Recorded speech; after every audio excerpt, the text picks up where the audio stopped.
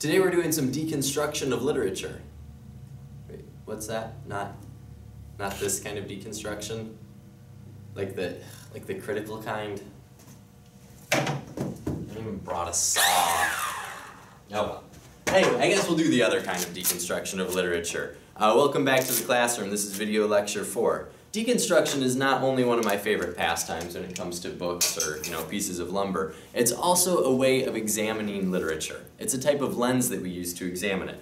Um, for instance, if uh, Tina Belcher was a lens that we used to examine literature, we'd use, um, well, I guess we'd view solely horses, zombies, and butts. In today's video, we're going to look at about one and a half of those three things. It won't be weird. Well, I hope it's not. I promise, it won't be that weird. Deconstructionism is a response to new criticism, another type of lens that loves binaries and therefore loves Heart of Darkness. Binaries are opposite images in a piece of literature set together, like savagery and civilization, nature and industry, good and bad, black and white, rich and poor, up and down, etc. As you've probably seen in past videos, many of these binaries are present in Heart of Darkness, which is why new critics love the work. Um, However, deconstructionists don't, and you might ask yourself, with all the war and poverty and bad customer service in the world, why would anyone set up their beef with binaries? The reason? Because readers are always biased toward one binary. Good is always better than bad, rich is always better than poor, white is better than black, up is even better than down. Uh, you can see how a novel that juxtaposes a black African society with a white European one um, would make some deconstructionists a little uneasy. Uh, that binary Conrad uses all the time, and if we're always thinking black is bad, it clearly uh, should ring some uh, racially sensitive bells, so to speak. This brings us to our big question. Does Conrad's use of black Africans as the second half of a binary set up to examine white Europeans' actions in Africa make the novel racist? The answer, absolutely it does. Chinua Achebe, one of the greatest writers of the 20th century and Nigerian's greatest ever novelist, really wasn't too fond of Heart of Darkness. I'm going to read you a quote um, from his essay, An Image of Africa. He says that Conrad uses Africa as merely the antithesis of Europe, and that no matter how pretty his prose, he's still a bloody racist. That's a direct quote there, bloody racist. Now, I encourage you to read more of Achebe's work on your own time. However, for our purposes, let's go ahead and stay rooted in our text. Um, is the black and white binary Conrad sets up racist? Uh, absolutely, it is. Uh, is his descriptions of Africans cringe-inducing? Um, absolutely, yep, uh, it should be. Uh, is the novel still worthy of study? Without a doubt. As Caryl Phillips, another scholar, writes, it is nonsensical to demand of Conrad to imagine an African humanity that is totally out of line with both the times he was living and the larger purpose of his novel. It is that larger purpose that I hope to examine in this video. Um,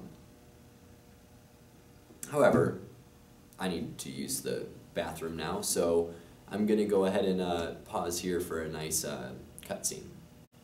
There are two main events that start uh, this second chapter of the novel. The first starts with Marlow asleep on the, the deck of his steamer, and he all of a sudden hears some voices. Thankfully, me and Charlie, my top plant expert, caught some um, reenactment footage that we thought we'd want to show you. I think it'll make it a little bit clearer what's, what's going on. Ah, the chair again.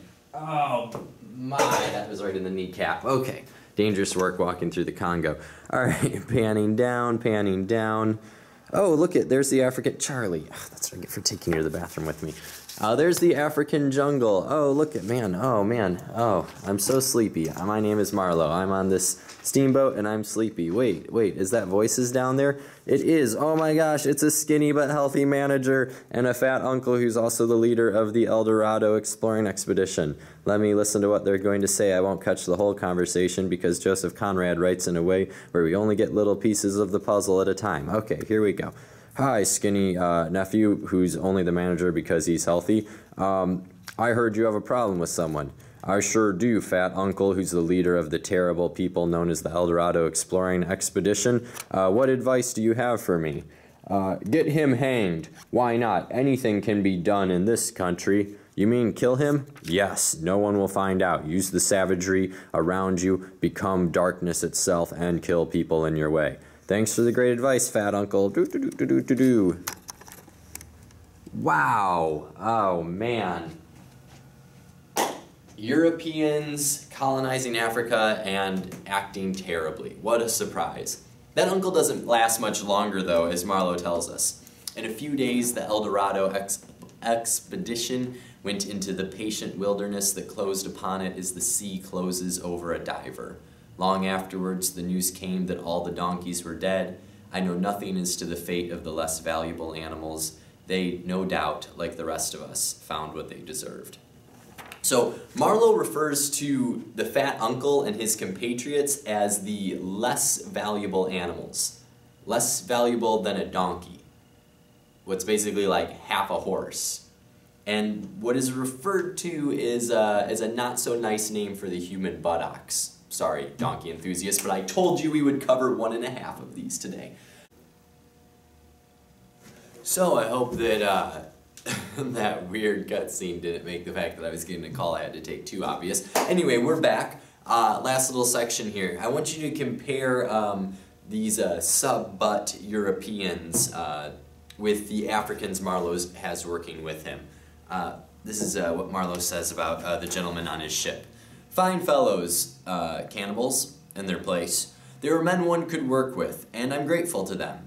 And after all, they did not eat, eat each other before my face. So Marlow is saying that the cannibals who, uh, who eat each other are better people than you'd expect, while the Europeans, who are supposed to be there to civilize, um, are worse people, right? They're, they're the donkeys and the cannibals are, are fine fellows. Now, why is there this distinction? Because they both, they both seem like they don't do terribly pleasant things to other humans. Um, but even though the black Africans are a mirror uh, for examining the white Europeans and Marlow's descriptions of the Africans cause justifiable squeamishness for a modern audience, the fact remains that he is still examining and questioning the European action in Africa with this mirror at a time where far too few people are actually questioning what's going on there. Um, is Richard Harris uh, in a, a, fantastic podcast that I'll add in the, the links uh, section down there, uh, states the cannibals who go hungry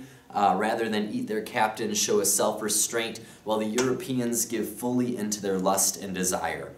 Conrad may use binary uncomfortably, but they're not designed, these binaries, to be of any detriment to the Africans or their cause.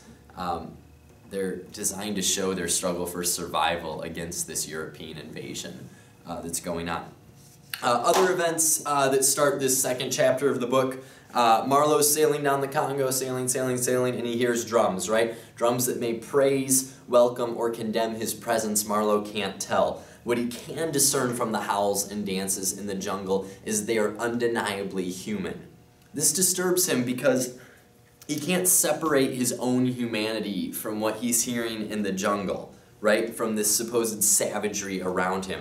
Doctors at this time are measuring skulls, as we saw in uh, the Brussels section of the book. And they're doing so to try and figure out what difference is there between people who ended up civilized in quotes, and those who aren't, right? Is their heads different? Is there like some sort of different shape to their brain? Um, is frightened not by the differences that people believe to exist between himself and the Africans, but by the undeniable similarities. Um, he sees them as humans, right? Because they are. And that frightens him because does that mean he's capable of, of acting in this savage uh, way? A lot of air quotes today. In this savage way, right? Uh, they're there again. Um, finally, it's important to keep in mind that while most of the characters in the text hear the word ivory ringing through the air, the spell that's cast Marlow and forced him deeper and deeper into the heart of darkness is not ivory, uh, but a single name, that of uh, Mr. Kurtz. We're going to find out more about this guy uh, in our next video lecture. Thanks for watching.